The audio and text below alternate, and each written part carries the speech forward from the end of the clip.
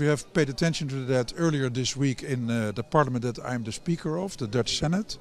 Uh, the senators are very worried about all the victims in the area, also other areas where there is war in the world.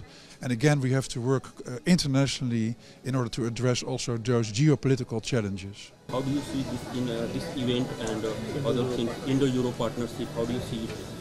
I see it as a very, very important event. Um, international diplomacy is the alternative for war.